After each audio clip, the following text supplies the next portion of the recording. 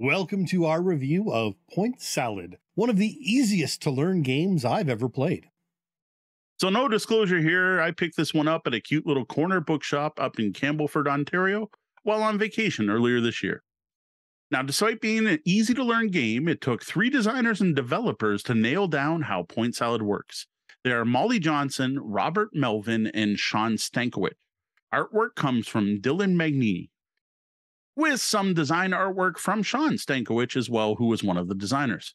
Uh, you can find Point Salad under 16 different names in even more countries. Uh, this is actually a Korean game originally. But what we're looking at is the North American version, which was published by AEG Alderac Entertainment Group in 2019. Now, Point Salad is a two to six player card game that plays in a quick 15 to 30 minutes, depending on the player count and the AP of players. This small box card game has an MSRP of $24.99 US. So Point Salad is basically just a deck of cards. You got 108 different cards that provide you with 108 different ways to score points. Now, these cards are divided evenly between six different salad ingredients, and each turn, all you're going to do is take a card, keep it for point scoring at the end of the game, or take ingredients to add to your growing tableau, your salad bowl. After all cards are drafted, the players will calculate their individual scores based on the scoring cards they collected and what's in their tableau. Player with the most points wins. That's the basics. There's a bit more to it, which we'll get to in a moment in the How to Play Point Salad part of this review. Before that, though, let's talk about the components in Point Salad, which mm-hmm. you can take a look at in our Point Salad unboxing video on YouTube. So honestly, there's not a lot to see in that video. It's probably one of our shortest YouTube videos we ever put out. As already mentioned, you get 108 cards. They come in a serviceable dual well plastic card holder with uh, a very short, clear, and organized rulebook. Now, the card holder insert is big enough to accommodate sleeve cards, which is a nice touch for people who like to sleeve their cards. And you may want to do this with this game, even if you're not normally a sleever. The cards themselves are two sided. One side shows a way to score points, the other side shows a single vegetable type out of six. Now, personally, when I opened this, and you'll see this in the unboxing video, I was really hoping the extra well was for a future expansion. So far, such expansion doesn't exist, and it doesn't look like one is coming, though no. I think we would have both appreciated the bacon expansion for our salads. Yep, still waiting for it. Now, my only complaint with the quality here is big the cards in this game seem very thin. They have a nice linen finish, but they don't feel sturdy or plasticized like some playing cards are. They actually feel quite flimsy and bend easily when being riffle shuffled. Now, so far, I haven't actually seen any bends or tears after quite a few plays, but I do worry about their long term durability. And at this point, we have played the game more than 10 times. For a game that plays this quickly and easily, it's odd to see them make this choice. Mm. durability is something we will be continuing to monitor and mention during the bellhop tabletop segment of our podcast if we do notice any future problems. Yep. So now that we know what we've got 108 two sided cards, what exactly are we doing with them?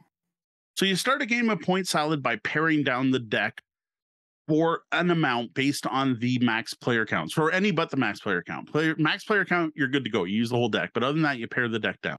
Now, this could involve either counting off so many cards to use or removing a set number of cards from the deck and playing with what's left. For example, with two players, you actually just count out six of each veggie, but with five players, you instead remove three of each veggie from the deck. Interestingly, at two and three players, the actual rec- they actually recommend you also split up the rest of the cards so that for two players, you end up making three decks and playing three full rounds of the mm-hmm. game. And with three players, you actually split the deck in half and play two rounds.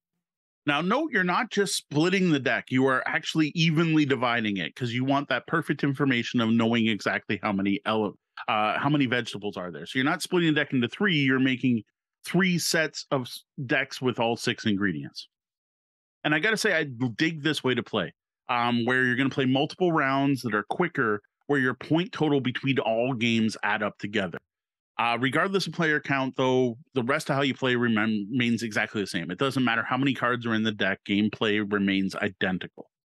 So the next thing you're going to do is now that you have your separated out deck, you're going to shuffle that up really good. Now you want to really take your time shuffling here because you just had everything sorted. You're then going to split the deck into three even piles. These are placed ingredient side down, so all you see are three point cards.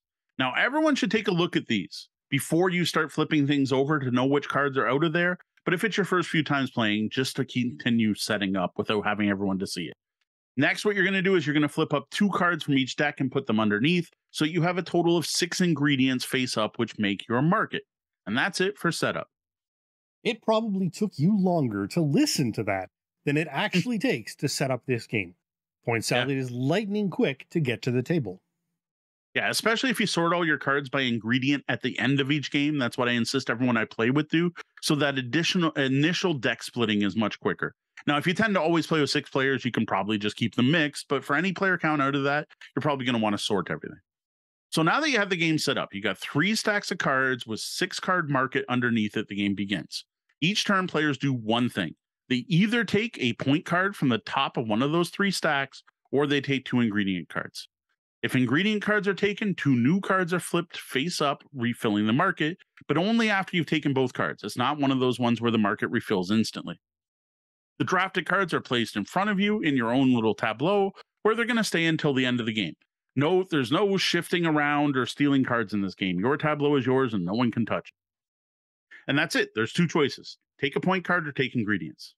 Now, additionally, once you have a point card, players do have the option to flip over one of their existing scoring cards, point cards to its veggie side. And to facilitate that, all of the point cards show what ingredient is on the other side. Now you can only do those once a turn. Note that you cannot at any time convert a vegetable back to its point side. Right. This is a one way street. Once an ingredient, always an ingredient. Also, note you can only flip one point card per turn, mm-hmm. something mm-hmm. that could be a problem if you build up too many that you end up not wanting by the end of the game. Now, play continues around the table until every single card is drafted. All decks are empty and the, the market's empty as well. At that point, all you do is add up your points. The point side of every card shows some reward for having some combination of ingredients in your tableau at the end of the game. These exist in all kinds of combinations, from things like two points per carrot to five points per pair of lettuce or eight points for a set of three specific ingredients.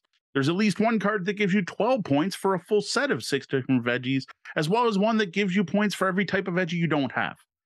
Having an even number of onions and a whole lot more. Remember, you have 108 different scoring possibilities in this game. Now, the player with the most points wins. That's it. That's really it. If I was showing you the game, in person, that teach would have been even quicker. This is basically a game I can set up and teach in under 30 seconds. It's that simple to learn. But not quite as easy to play, which leads yeah. me to the next segment of this review our thoughts on Point Salad.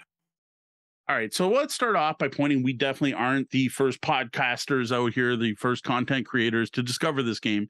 And people have been talking about Point Salad since it came out and everything, seriously, everything I have heard has been positive about this game. This isn't some hidden gem we're hoping to bring to light. This is a game that has plenty of press, and all we got to say is that it's all good, and I got to say for good reason. If anything, we're adding a new voice to a game that is perhaps quieted down some and needs a reminder for people that it's still out there. Very true. This is one of those totally brilliant games where once you play it, you kind of wonder, why didn't anyone think of this before? It's just such a brilliant use of two sided cards used in such an elegant way. The way it's so dead simple to teach, like seriously, under a minute for any gamer who's ever scored a game board game before. Yeah, I expect most gamers will have some real face slapping moments. In fact, wondering hmm. why no one did this sooner, yeah. or how such a simple concept works out so perfectly. The really impressive part here, too, is how well this dead simple to learn game actually plays and how much actual strategy and tactics are required to play well. This is a card game with semi perfect to perfect information. At the full player count of six, it's possible to know every card in play. At lower counts, you always know exactly how many of each ingredient are play, but what point cards are removed will be random. Once you get down to two and three players, you're back to that near perfect information because you're going to play with multiple decks that we mentioned earlier. Yeah. Now, most talking about perfect information, and that is knowing every card that's in the deck before things start. Right. While often perfect information means low randomness, that's not the case no. here.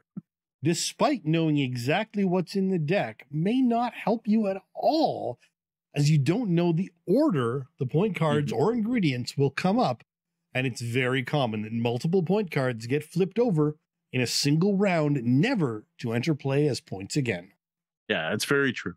You definitely can't sit there counting on specific cards to come up, but you can plan your veggie buys based on the knowledge that there are certain types of scoring cards that exist for each vegetable type. And especially if you're playing the multiple deck, you're going to be like, oh, you know what? That first game, an awful lot of pepper scoring came up. So there's probably going to be less in the next deck, which combined with looking what other people are collecting can definitely affect your odds of getting something useful. Yeah, watching what other people are doing can be a big part of this game. Mhm. And with that comes hate drafting. Often, the best move may not be to grab something you want, but rather to take something so that someone else can't have it. Now, I totally agree, though I never felt the hate drafting felt that hateful. It never really felt spiteful. It didn't feel really nasty as it can in some games. And still worth noting, though, because some people are going to be turned off by the fact that there is that level of competitiveness and I guess backstabbing with the hate drafting. I think, as with most games where these sort of options exist, whom you're playing with will have a big Yeah. impact on the feeling you get from that sort of play. I think in most of the times for in our case, it's been, wow, they're about to get a runaway. We need to stop that. Yes. Um, and that that's it's so it's it's not specifically stopping them from getting anything, it's stopping them from getting the clear victory. Yes. Now, besides some groups not liking a bit of take that and the card drafting, the only real problem I can see with this game is the card quality we mentioned earlier. These really are thin cards, and and I I'm looking forward to seeing how well they hold up. I really hope that I'm talking to you in six months or a year, and I'm like, you know what, we are wrong. Those Point Salad cards, they're nice and sturdy. I let my kids play with them; they're still great. I I I expect this game to see many more plays. We played a lot over this last weekend as we've been enjoying it a lot. So I have a feeling my game's gonna see a lot of wear, and we'll have to see how it pans out. Maybe you are going to find a need for that second card, well, to hold sleeved cards after all. Yeah, and I gotta say that is a distinct possibility. I've once I do get a fold in one of them or a bend, I'll definitely be looking at sleeving. Overall, we have absolutely been loving Point Salad. This is a truly brilliant game, the likes of which I haven't played in a long time. This reminds me of when we first discovered the Duke and we're just blown away by it, playing game after game after game. Or for back when people who joined us when we first started this podcast, Azul was that game. It felt like every week we were talking about Azul. And I have a feeling that our Bellhop's tabletop segment for months to come is going to have a reference to Point Salad or two.